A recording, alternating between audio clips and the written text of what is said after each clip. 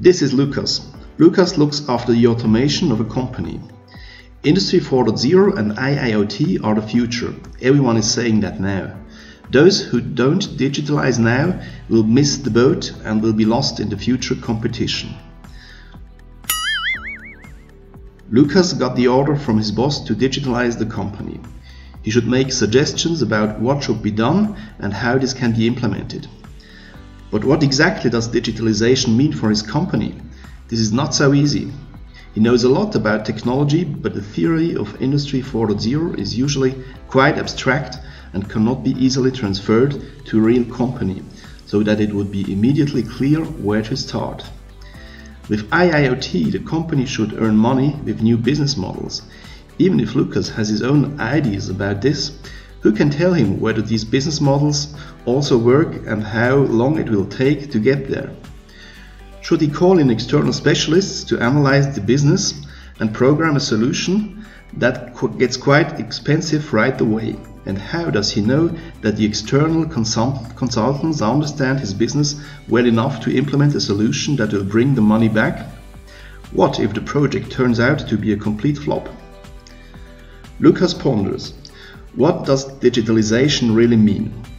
If we should profit from digitalization, I have to be able to produce more cheaply in the future and my production must be able to switch to new products more quickly and easily.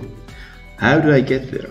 I have to get rid of all the manual work between IT and the automation level. Wherever data is still read out by a human today and has to be retyped in another software, this has to go. Data must be automatically written by IT to the OT and vice versa. Processes and IT applications can trigger functions that copy such data. Such tasks are still often done by hand today and they have to automate them. Protocols and interfaces such as OPC UA can be seen like the tools.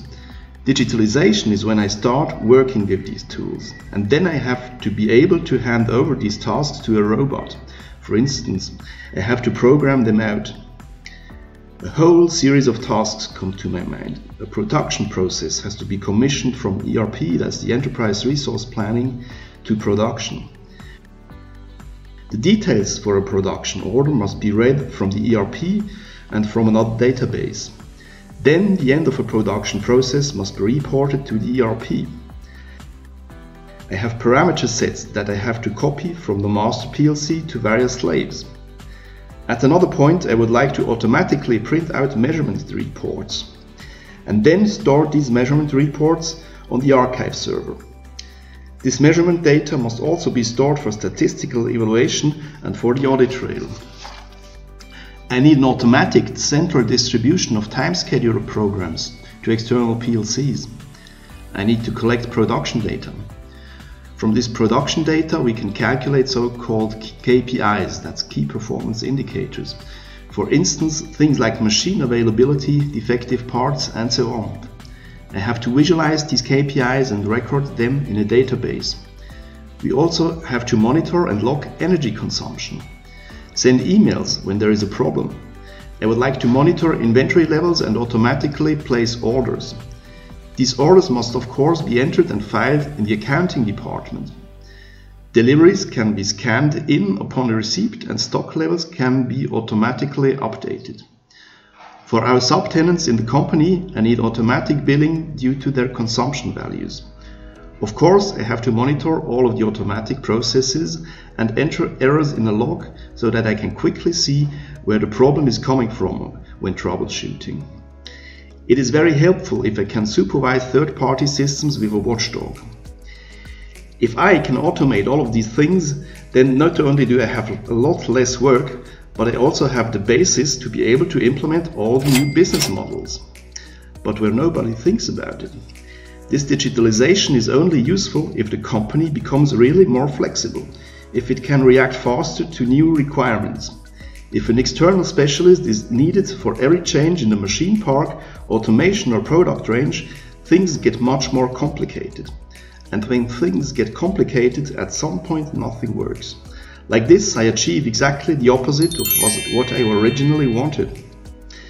So what do I need? I need a tool that speaks my language, which can be programmed like my PLC and a visualization for it.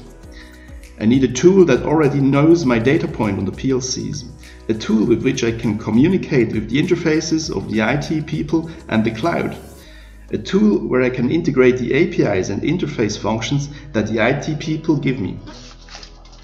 A tool which gives me the opportunity to connect modern script languages like Node.js, Python, PHP and C Sharp and their respective libraries. A tool which controls and logs all involved, involved procedures, calls and processes so that I can understand where and where something is not working. If I had such a software, I could do the whole development myself. And whenever I don't know my way around, I ask the IT developer to give me a function or an API in his software that I can use to read and write data from it.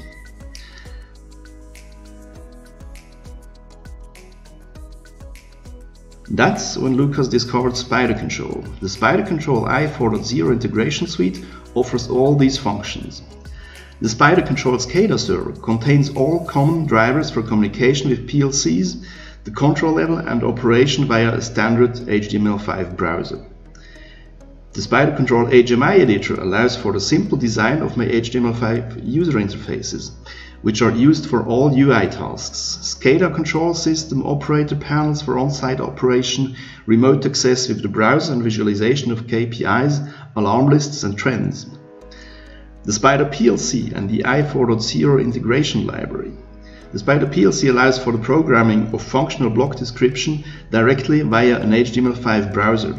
The i4.0 integration library contains a large number of functional blocks with which the tasks described before can be implemented very easily. Communication with REST APIs, MQTT, HTTP, screen dumps, generating PDF, sending emails, FTP transfers, string manipulation, copy files, read and write CSV variable files, logging, create and edit variables namespaces, call and monitor external processes, etc. These function blocks are now connected directly to the process variables. The Spider PLC starts and monitors script engines such as Node.js and Python so that your own scripts can be integrated and called via a functional block. With Spider Control, Lucas can now build an i4.0 infrastructure step by step himself. The costs remain transparent and manageable. The risk of failure is also much lower because Lucas can judge for himself which functions are useful and which are not. Once the data is recorded and the functions are available, the connection to the cloud is only one functional block away. With the Spider Control i4.0 integration suite, Industry 4.0 and IIoT become a task that can be implemented step by step with the existing staff. The digital infrastructure is built up without any risk, with manageable, calculable cost, so that new business models can be gradually tested and improved on the market on this basis.